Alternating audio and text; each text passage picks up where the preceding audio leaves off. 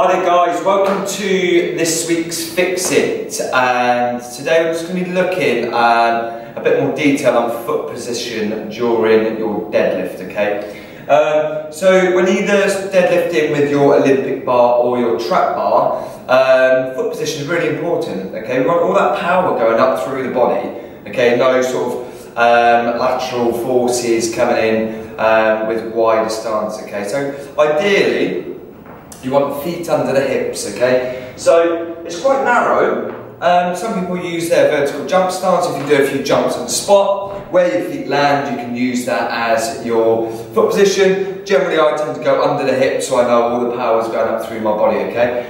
Um, so again, when we're in position, feet under the hips, roll that bar over sort of mid-foot um, or over the first eyelet of your shoelaces. Um, that's a nice place for the bar so it stays nice and close to the body.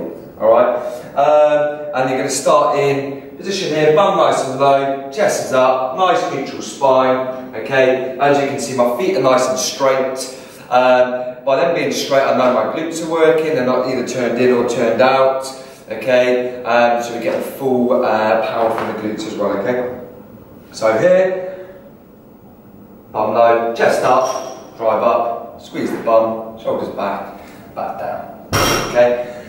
If you struggle getting into position with your feet narrower, so here, okay, that's going to indicate sort of uh, some flexibility issues. So ideally, you probably need to look at your hamstrings, try and get those a little bit looser, um, and again through sort of mid-thoracic, middle part of your spine, um, you need to get a bit more flexibility through there. But um, really try and get yourself into that position without sacrificing form and you're going to find that actually you can probably lift a little bit more weight. Okay, so um, really focus on foot position over the next few weeks guys and I'll see you all in the studio next week.